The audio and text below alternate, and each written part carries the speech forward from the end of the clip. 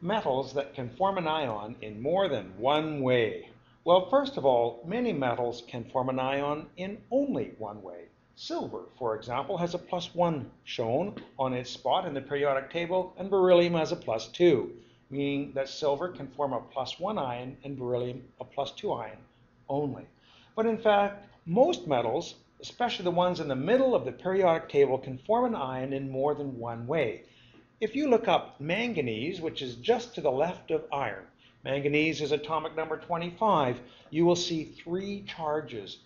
Manganese can form a plus 2 ion, which we write manganese and then use Roman numeral 2 in the name, or a plus 3 ion, again using Roman numerals to indicate the charge, or manganese 4 plus.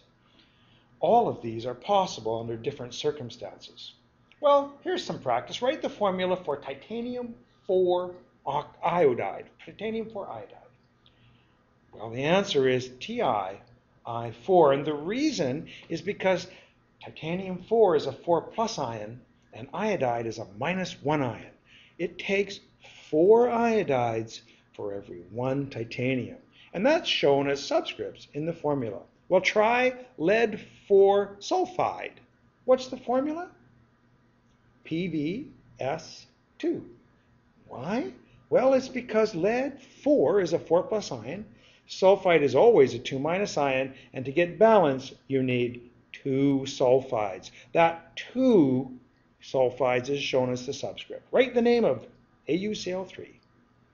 Well, Au is gold, and this ion must be gold 3 since the chloride ion is minus 1. It's the only way for this formula to be right. Well, that's it. Thanks very much.